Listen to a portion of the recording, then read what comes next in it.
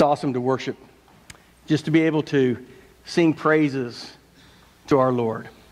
It's awesome to see teenagers sitting over here with their hands raised up, with their eyes closed, not worrying about what somebody thinks of them, but just wants to worship the Lord. Today I have a topic that many of you will say, I, I needed to hear that. And some of you will say, every time I go to church, he talks about it. But it's a topic that controls every one of our lives. It's a topic that if we do not communicate what that topic is and what God wants for us, we are going to be stuck in the same deja vu style of our monetary gain. Because God has given us a principle in the Word of God. And that principle in the Word of God is not financial gain for self, it's trusting in God in everything that He has given to us and for us. And I want to use an illustration I've used many times, but I want to use that illustration off of a kickstart into the sermon because what Jesus does for us is exactly what I did for my son. We were at McDonald's, and my boy was about six years old. His name is Bryson, and, and uh, he loved McDonald's. And I was, I was on one of those kicks that I was like every six months I get on a kick, I need to lose some weight. So I get on that kick for about two days, and uh, that kick wasn't any fun, so I get off the diet. But I was on that kick at that time, so I got me a, a chicken salad. And I was eating my chicken salad, and Bryson got him his uh, Happy Meal. And, you know, that, those fries in that Happy Meal, they look so good. So I was eating this nasty chicken salad and thinking I'm going to lose 20 pounds in two days. And I looked over and I saw that fry in his Happy Meal. And I reached over and I pulled out one of those fries and I began to eat it. And he looked at me and he got mad at me. He said, Those are my fries. I said, They are, are they? So I reached over and got a couple more fries out of his bag and he started getting mad. So he took the fries and he held them in his hand and he started eating all those fries. And I said, Dude, I've been sitting over here eating a chicken salad. He goes, You can go get your own fries. I looked over at him. I said, Son, can I tell you something? You have those fries because I gave those fries to you. Do you know, Dad? Do you know, Bryson? I could go up at that counter and I could buy all the fries they have in this store. I have my credit card. I may have to pay for it for three months, but I can get all the fries I want and you cannot have any of them. And he held on to his fries and he didn't want me to have any more of his fries and I want to teach him a lesson. So I went and got me some fries. I was on a diet, but I got those fries.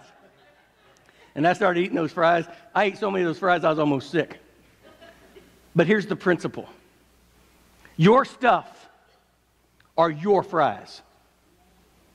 You didn't buy those fries. God gave to you what you have because He wants you to have that. And sometimes we hold on to our fries so much and God is saying, you know what? If you give me a fry, I could baptize you in fries. But so often, what we do is we want to hold on to our stuff, and our stuff is our stuff, and we're telling God, leave me alone. And you know what He does? He leaves you alone. You have it. That's what you want. That's what you work for. There you go. But if we're not happy where we are spiritually, if we're not happy where we are financially, here's the principle that God wants to teach us today. It's not about what we have, it's what we do with what we have. Because if what we have is ours, ours, ours, and no one else's, it's all about me. God calls somebody, Jesus says, God calls us a fool if all we do is focus on finance, if we live for our money, our money is our focus. Our drive in our life is to gain resources and be selfish with them, then he calls us a fool. Now, there, are, there is nothing wrong with finances. There's nothing wrong with having resources. I, I'm a firm believer that God honors us when we have a work ethic, we work, we gain resources. It's not about having money, it's about what you do with the money that you have. And I want to prove that to you today. In Luke chapter 12, Jesus was teaching thousands of individuals. Some were his disciples, and some were his followers, and some even were his enemy. And they didn't follow, they didn't like him, they were just trying to find something against him. And he was up teaching. And in his break in Luke chapter 12, there was two guys that wasn't paying attention to what Jesus was teaching. They were there for Jesus to be a judge or an arbitrator, if you would. So they waited for a break. And when Jesus took a break or took a stop in his communication, they, they chimed in and asked him a question. And I want to catch that in verse 13 of Luke chapter 12. It says this Someone in the crowd said to him, Teacher, tell my brother to divide the inheritance with me. Jesus replied, Man, who appointed me to be judge or an arbitrator between you? Then he said to them, Watch out, be on your guard against all kinds of greed. Here's the myth that's getting busted right now life does not consist in the abundance of possessions. And he told them this parable The ground had a certain rich man yielded an abundant harvest. He thought to himself, What shall I do? I have no place to store my crops. Then he said, This is what I'll do. I will tear down my barns and build bigger ones. And there I'll store my surplus of grain. And I'll say to myself, You have plenty of grain laid up for many years. Take life easy, eat, drink, and be merry. But God said to him, You fool, this very night your life will be demanded from you. Then who will get what you have prepared for yourself? This is how this is how it will be with whoever stores up things for themselves and is not rich towards God. If all we do is think of ourselves and we don't think of what God wants for us, then God calls us a fool because we're prioritizing our life over God's will. The idea that we have today, your resources, whether you make $15,000 a year or you make $150,000 a year, we're all on the same playing field.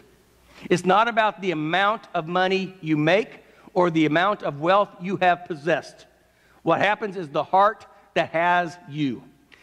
The condition of the heart is the matter of what we do with the information that we have. And when we have a condition of the heart, here's what we need to do. We have to understand there's some principles that we have to give, and then there's some application. So here's the basic principle that he said to them Jesus replied, Man, who has appointed me judge and arbitrator between you? Then he said to them, Watch out, be on guard against greed. Now, I understand what greed is. There's always things that we're greedy for, things that we want to have. And he says, Guard your heart. Out of the heart come all the wells of emotion that we have. It's the seat of emotion. Guard your heart. In other words, if I don't watch my heart, my life can fall out of control. My heart, the thing that I desire, the thing that I want, if it is not godly, what we do is we start greeding, being greedy over things that God doesn't necessarily want us to have. And then if we start having greed over things that God doesn't want us to have, we start leaving God out of the very thing that God gave to us. And that's greed. And he says this life does not consist in the abundance of possessions. See, sometimes we feel like the one that has the most is the most successful the most popular or the one that God blesses the most. And sometimes God gives to us things, but He also expects things. When we expect things, we can't guard our hearts if we fill our life with possessions for myself, for greed. And when He tells a parable, He says this He said, Guys, I want you to listen to this. This is not just these two guys that he's talking to, he's talking to thousands of individuals. And he says, guys, finances can ruin your life if finances is all you care about. Don't worry about gaining things if you don't have a relationship with God. He said, What good does it do if you gain all the process of all the possessions, of all the wealth, but yet you aren't rich towards God? You know, when we have a lot of people in the hospital and uh, I went to see my mom yesterday, and you know, you know, when people get older, uh, They spend a lot of money on health care, don't they? We write checks all the time on health care. And here's what my conclusion was my mom worked her entire life to gain wealth. She's not a rich woman by any means, but she worked her entire life until she retired to gain wealth. And since she has retired, she has spent all of her wealth to gain health, and it's not working. Sometimes we spend all of our money and all of our resources and all of our time, and sometimes we just don't have enough wealth at the end because our wealth is nothing to this world. What's more important than any monies that you could have is your relationship towards God. And the Bible says God would call you a fool if all you cared about is how much money is in your account. Now, I, I, believe we ought to take care of our bills. I believe we ought to take care of our retirement. I believe we ought to take care of our families. And I am not saying we should not because it is God's mandate that we do what God has given to us and be responsible with our resources. But on top of that, it is our responsibility to be wise with our resources and be rich towards God. We must be rich towards God. In Matthew 5 22, it says, But I say to you, whoever is angry with his brother without cause shall be in danger of judgment. And whoever says to his brother, Raca, shall be in danger of the council. But whoever says, You fool, shall be in danger of hellfire. When he says, Thou fool, you shall be in danger. When God uses the word fool, it is a powerful, powerful thing. It is saying this I know everything about your life, I know everything about your resources. And you are foolish if you think your resources are going to get you to heaven.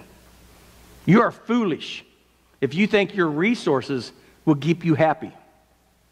We have watched in the news over the last few weeks, or last week anyway, of a, a man that was a phenomenal, phenomenal golfer that's worth millions and millions of dollars. When his life spiraled out of control, you know what those millions of dollars did for him? Jack squat. Tiger Woods is in misery. Mentally, emotionally, physically, he's miserable. Could he write a check to pay for anything he wanted at any time? Absolutely. What good is money when you're out of control? When your life is foolish? So God says we need to guard a few things. And here's what foolishness looks like. When we focus on our resources more than anything else, he calls us foolish. Number one, equates material abundance with success. When you think that the more I have is the more people will think I'm successful, so they'll respect me more because I have more things. In Jesus' economy, it was an agriculture based economy, which means when they, when they paid for their crops and their crops came in, that's when they would sell their crops and they would gain those resources about once a year. And in that crop, gained resources, and this farmer got his pride because he had a bumper crop, because the land was perfect, because the sun was perfect, their water was perfect. And I wanted to ask this guy, did you do that? You planted the seed, but God gave the increase. Sometimes when we look at our life, when we look at what God has done, we can say, Look at what I have done. But in all of our life, what we have to do is look at what God has done, what God has blessed me with. The Forbes magazine is going to come out and they give us the top 10 richest people in America. And they come through every year. Every one of those top 10 rich people, they have millions and millions and millions of dollars. And they have a name for themselves. And they've done well for their life. But what good is the money? What good is the fame if they do not become rich towards God? And this man, this man had plenty of resources, but he was lost the priority. It is said, money can't buy happiness. But it's also said, money can't buy happiness, but at least you can choose how we're going to spend our misery. I can do a lot of things with resources. I can go where I want to go. I can do what I want to do. I can have what I want to have.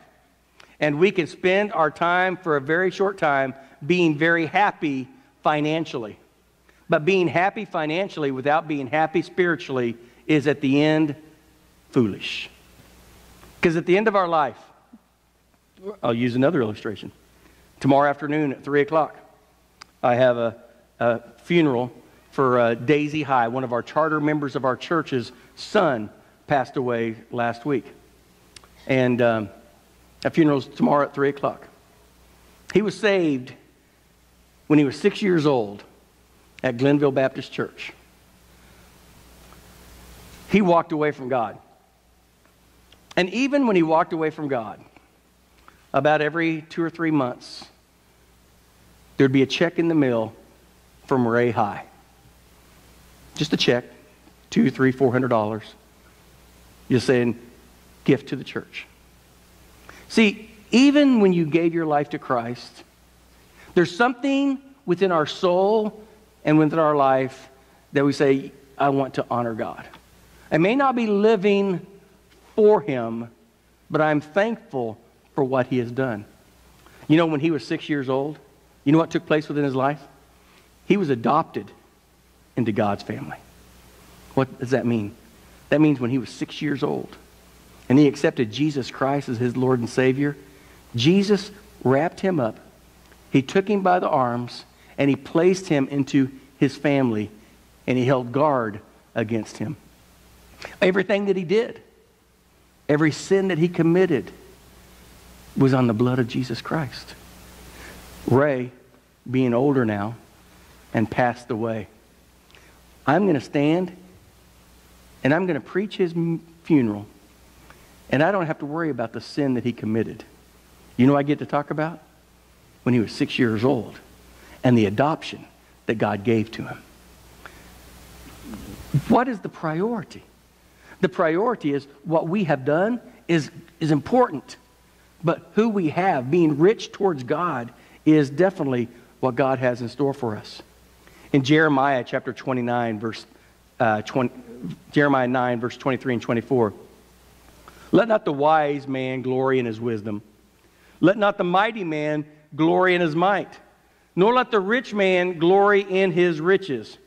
But let him who glories glory in this, that he understands and knows me, that I am the Lord, exercising loving kindness, judgment, righteousness to the earth. For in these I delight, says the Lord. It's not about how much money you have, it's about the condition of your heart. The second thing, a fool demonstrates self centered attitude. A self centered attitude. My money is my money, my resources are my resources. Before September 11th, it was called that we were the me generation. After September the 11th, it said that we have turned to the us generation. Well, now it is said that we are the give me generation. Give me, give me, give me, give me. We look at the government and we look at all the programs that our country is going broke because of. What we have to do is we have to change from the gimme generation to the love me generation. But Luke chapter 12, verse 17 listen to the personal pronouns. And he thought within himself, saying, What shall I do, since I have no room to store my crops? So he said, I will do this. I will pull down my barns and build bigger and greater. There I will store all my crops and my goods. Has nothing to do with thank you, Lord. Let me give back to you what you blessed me with. It's all about the self centered attitude of mine.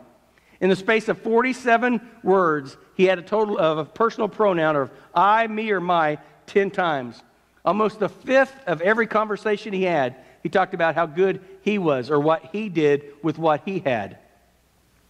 In Proverbs 28 26, who trusts in his own heart is a fool, but whoever walks wisely will be delivered.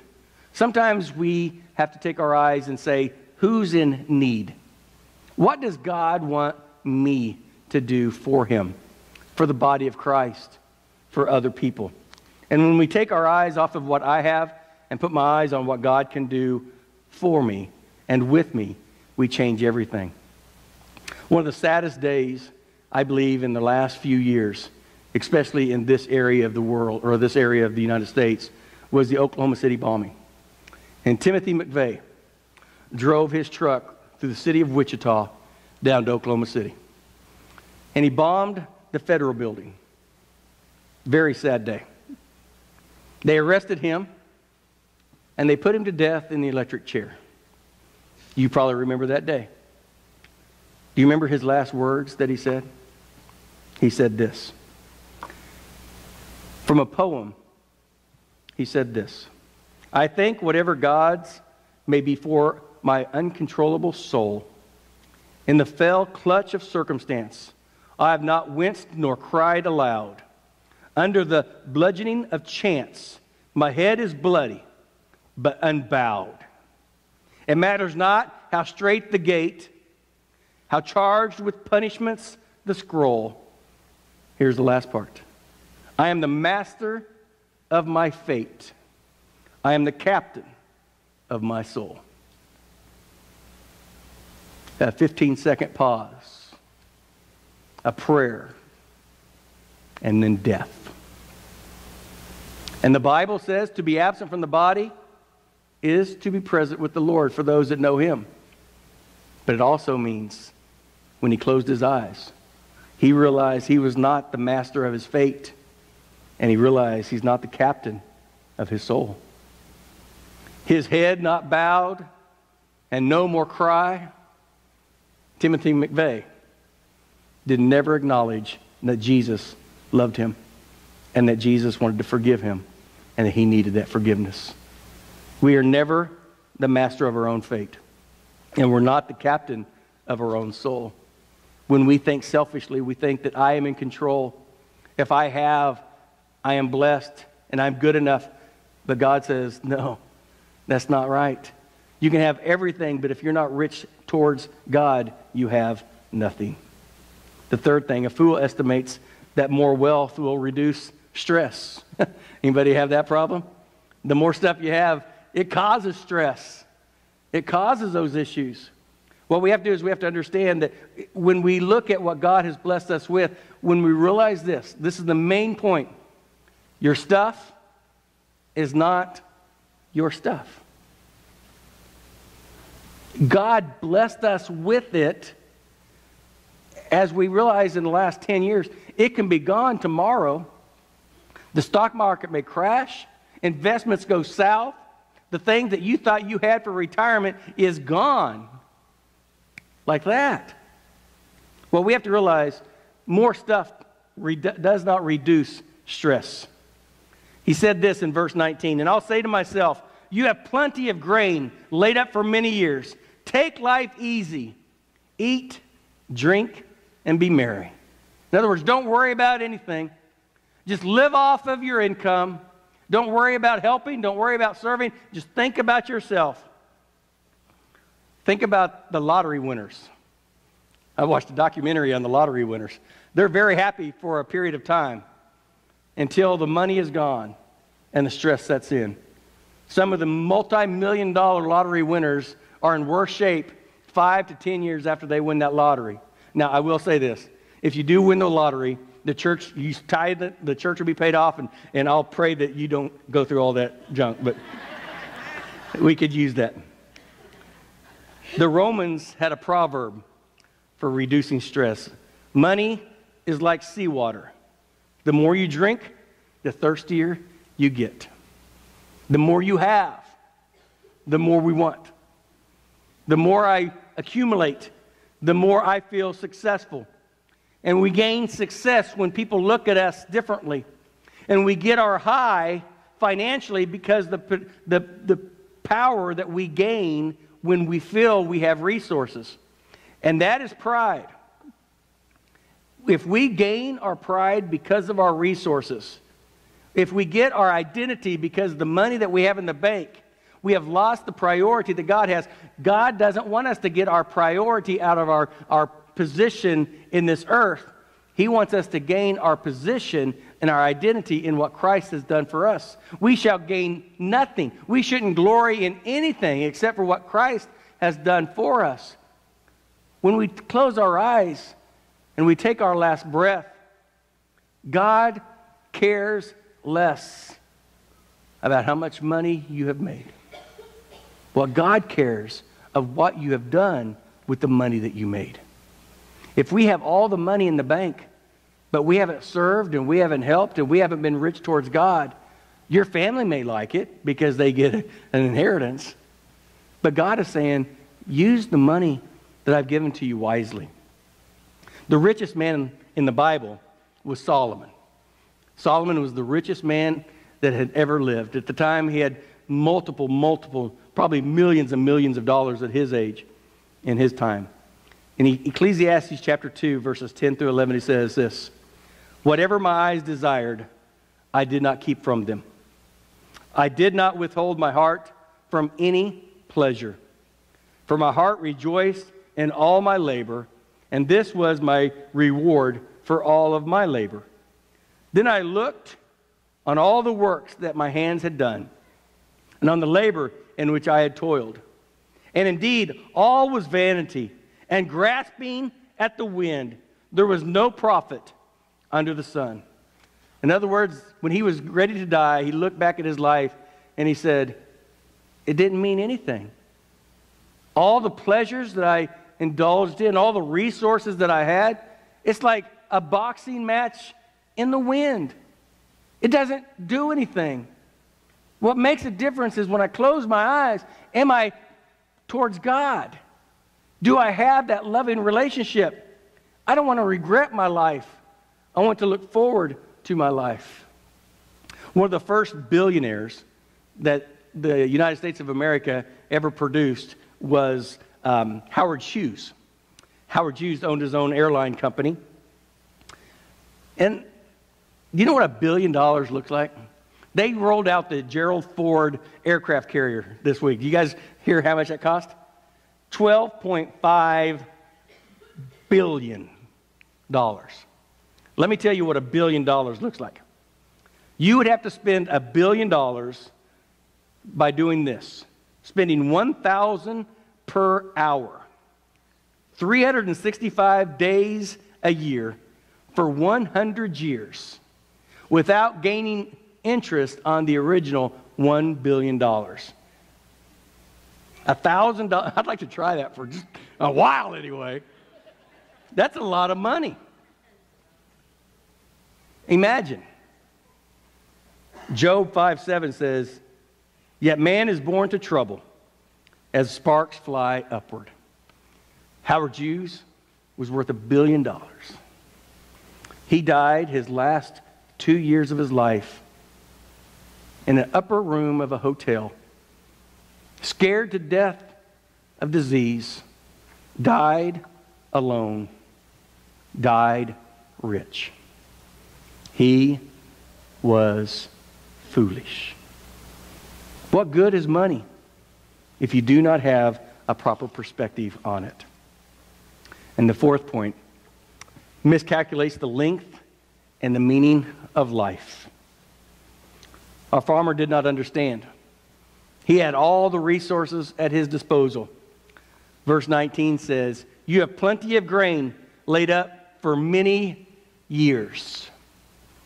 But God told him, You do have plenty of grain. You do not have a lot of years.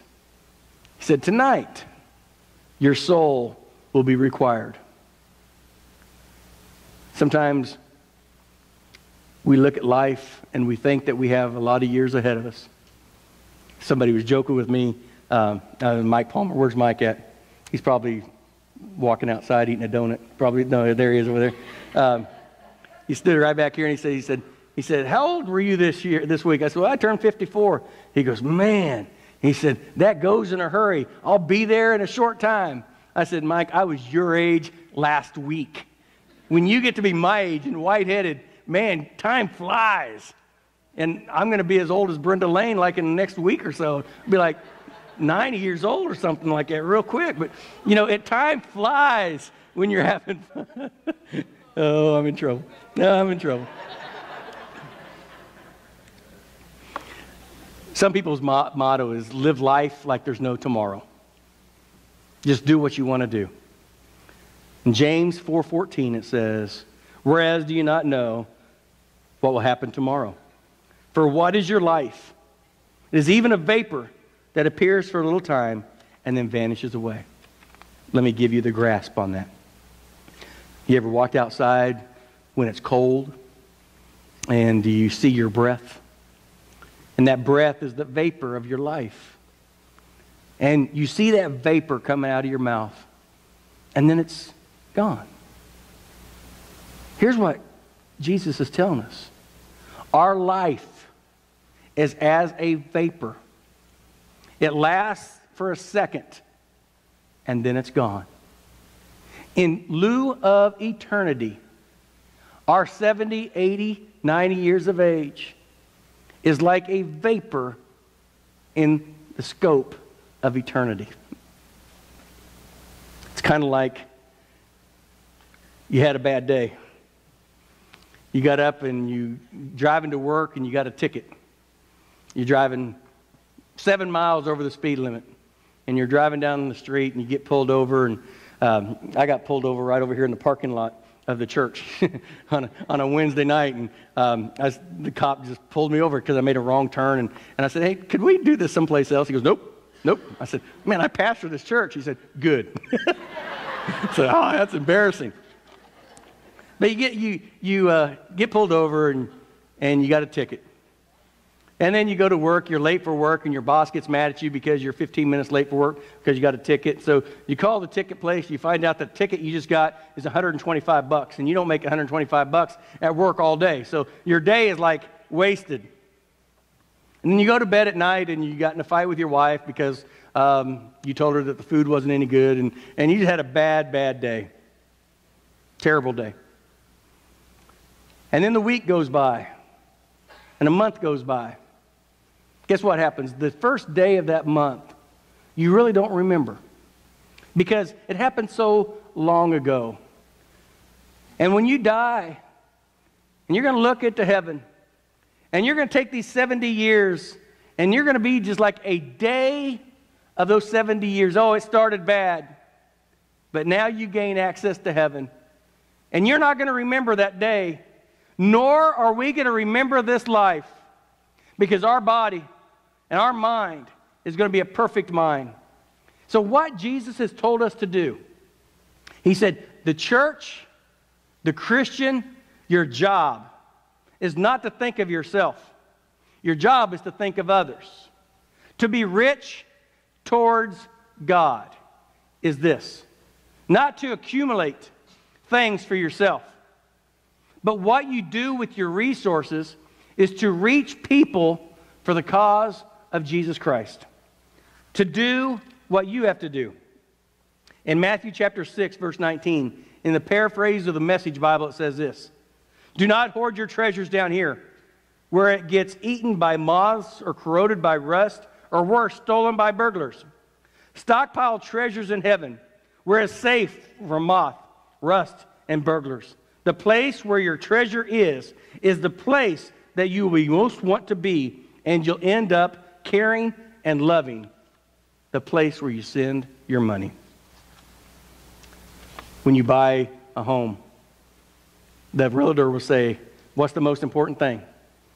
Location, location, location. Where you spend your money, location, location, location. It's a fool to not think about eternity. It's a fool to think you have your resources for yourself. It is God's call. He said, to be rich towards God. So we started talking about fries. Are we happy with the fries that you have? Are you happy with your financial situation right now? If I was a financial investor and I gave to you advice about your finances, and I'm giving you advice from the spiritual perspective of your finances, not the worldly perspective of your finances. You go try to buy a car and you're tight with your money and you say, Well, what, what, what can I give up? They'll say, Hey, you spend whatever it is, $15,000, $10,000 a year given to a nonprofit organization. If you cut that out, you could have this car. So you always look for ways to cut out, and you always cut out what God wants you to do. But I'm telling you the other side of that. I said, when you give God what He has asked for, He is baptizing you with His blessings because He trusts you. Because here's the deal if God can't trust you when you make 50,000 to give back to God what he has asked you. God is not going to bless you with 500,000. God is going to give you and bless you according to his trust and according to what he sees. Being rich towards God means I want God to take care of me because I honor him. When we honor him, he does great things. He honors us in many ways. That foolish man that Jesus talked about, he was full of pride. I do not want to end my life. And I don't want to stand before God. And he says, Bruce, you were a good preacher. You took care of people well. You ministered to people and you visited people in the hospital. But man, you're foolish. You thought the resources that you had was yours? No, they're not yours. There's not a staff member and there's not a deacon at this church that does not systematically give and tithe to this church. Because you cannot be in leadership of the church unless you're our first doing what God has asked you to do, and that's to systematically give towards Him with a smile, not a grudge, not looking at what I have to do. It's looking at this that God blessed me, He honored me in everything that I have. And this church does one, I mean, you take care of me uh, beyond measure. And I am very thankful for that. But this is God's house. And I understand that God could take away whatever you have blessed me with, no, same as He could do for you. But what we have to do is we have to say, Lord, thank you for what you've done for me. Allow me to bless others with what you have. I was talking to somebody just yesterday about this, the aircraft carrier, $12.5 billion. And that's a lot of tax money right there, isn't it? But you know how we get that $12 billion tax money? Everybody in the United States pays their fair share. I wish it would be that way, but a flat tax or whatever the case is. But, but if everybody pitches in, everything can be done. In our church is the same way. When the body of Christ says, I want to be rich towards God, the first and foremost thing is I want people to see Christ. I want the church to be blessed so the people can see Christ, so people can get baptized, lives can be changed, and events can take place. The body of Christ. The body of Christ right here under Glenville, the purpose of the church is not to meet on Sunday morning. The purpose of the church is to reach people for the cause of Jesus Christ. It takes resources. And Jesus has one plan for the church to be funded through the people that have been radically changed by the church. When the church is radically changed, when people are changed, when people have a passion for Christ, when people want to be rich towards God, the church grows financially, numerically, and spiritually when the body of Christ says, I'm in. When the body of Christ says this, I like what the church is doing. I like when the church is winning people for Christ. I want to be part of that endeavor. When the body of Christ sees 70 kids going to camp, I want to be in that endeavor. When the body of Christ these kids getting saved people worshiping, marriages being transformed, lives being changed, addictions becoming clean. When we see what God can do through the power of the Holy Spirit, through the body of Christ, we need to say, all in. When we see people's lives that are destitute, we see marriages falling apart, we see addictions controlling people's lives, and they come for guidance through the power of the Holy Spirit, through the body, through the church, and their lives are changed. I want to be all in. When we become all in in people's lives, we realize this my life is not good. God is good, and God wants to use whatever I have to change people's lives. I do not want to see God. And he says, Bruce, you are foolish. I don't want my life to be foolish in any area. I want God to be honored with my wallet, with my life, with my family. I want God to say, Well done, that good and faithful servant. I want to see what God has done with what I've given to him. And see, God takes great records. And the Bible says nothing happens down here that God doesn't record. And everything that we have done, we sent to heaven. And God has recorded everything that we have sent to him. There is an old illustration I'd like to close with. This man gave his life to Christ, and, and uh, he knew that he was adopted. He knew he was going to heaven. And he died one day. And th- this is the story, so I'm going to not be theologically correct. And St. Peter welcomed at the gate, and St. Peter took him through the pearl gates, and he walked him down the street, and uh, he went over to this little house, and this little house he walked into was a one bedroom house that didn't even have indoor plumbing, had holes in the roof, and no carpet on the ground. And, and he goes, Whoa, time out, dude. Where's my mansion? As last week we know it's a room, but we're going mansion this week. Where's my mansion? And St. Peter says, We only built what you sent up with. If you don't send any money, I can't build you a house. If you don't send I, I, I thought it was stupid too, but it's kind of funny. Our resources are very important. To honor God and love Him, let Him take care of our life.